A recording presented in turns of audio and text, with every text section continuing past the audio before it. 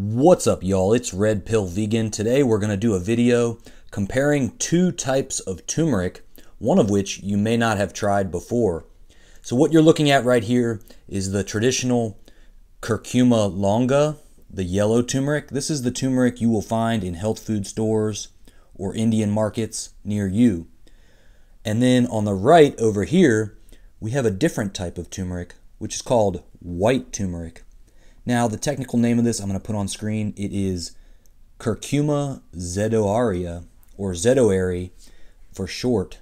Now, this looks like ginger. Let me be clear, guys. This is not ginger. This is a type of turmeric in the curcuma family, and it is a white turmeric. So what's the difference between these two, guys?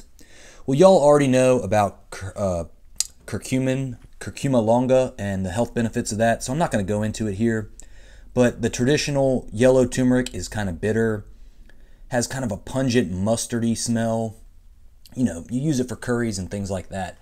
But over here with this guy, we're talking about a little bit different smell overall. It smells kind of like mango and it tastes more similar to ginger. So I know you guys have tried fresh ginger before. If you like turmeric, but you've never tried white turmeric, I would highly recommend it. And you know, we've all we've all got some turmeric powder.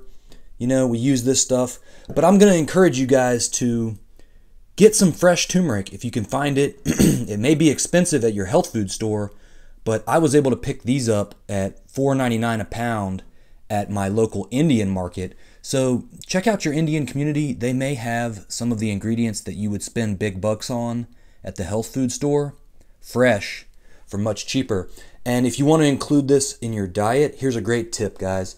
I cut them up just like this into thin discs, and then I put them in Ziploc bags in the freezer, just like that.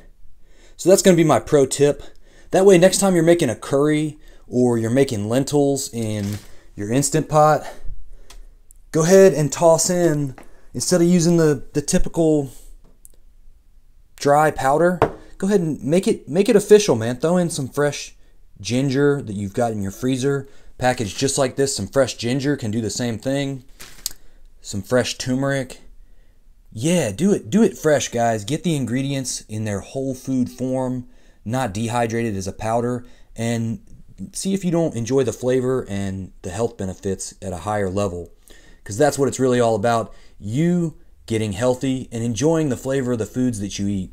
If you can't find white turmeric fresh locally, they do sell the powder on Amazon, and I'll put a link in the description. People are using it to do all kinds of crazy stuff, like dye their hair.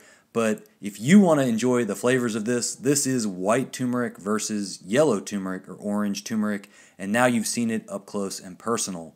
And hey, before you go, if you like delicious flavors from around the world, then the best tip I can give you is to make it count when you buy your staple foods like rice, like basmati rice. You see, not all rice was created equal, and when you're going to buy something that you're going to enjoy for many different meals, like a big bag of rice, it really counts to spend a few extra bucks and get the right one. So, that being said, guys, there are some comparison videos of the top brands, like what they reach for during Indian wedding season, on my channel, and I'm going to go ahead and put a link so you can watch those videos by clicking the thumbnail that pops up right now. Alright, y'all know what time it is. Red Pill Vegan. Next.